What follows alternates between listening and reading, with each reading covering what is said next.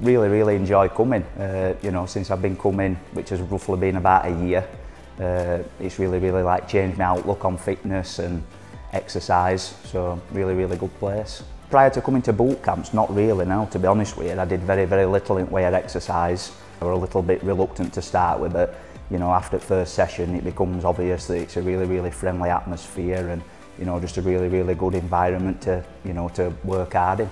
Prowler, one of my favourites to be honest with you. Yeah, genuine comment, yeah, yeah. I quite like tyre flip, quite like that side of it, you know, it's like a little bit of strongman kind of thing. Quite like me uh, bench press, massive improvements on my outlook toward health and nutrition and diet, uh, just as well as just general overall fitness. You know, I've lost like over a stone in weight and uh, yeah, not looked back really.